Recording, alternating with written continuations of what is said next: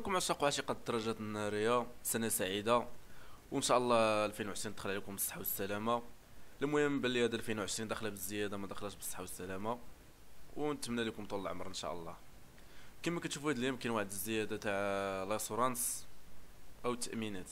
كما كتعرفوا ان في بداية 2020 كاين واحد الزيادة تاع التأمينات. بالنسبة لك الكوارث الطبيعية. ونخليكم مع الفيديو. خصص عائده لتمويل صندوق يعوض المتضررين من الكوارث. روبورتاج عبد الفتاح مؤمن.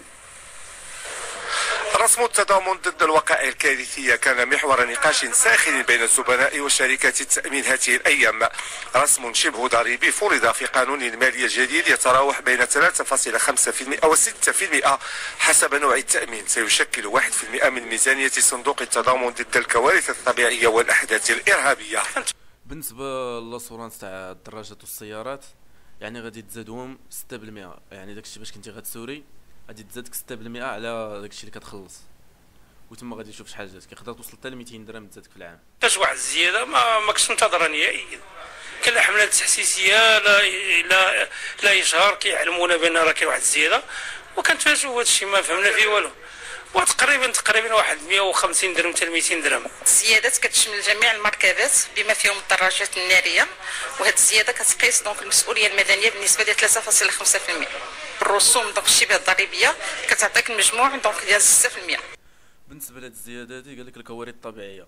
يعني بأن مؤخرا قال لك كثروا الفيضانات.